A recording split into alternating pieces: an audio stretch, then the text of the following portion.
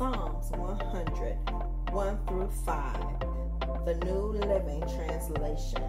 Shout with joy to the Lord, all the earth. Worship the Lord with gladness.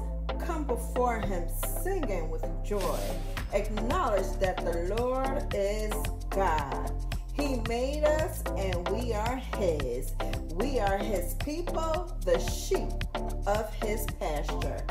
Enter his gates thanksgiving. Go into his courts with praise.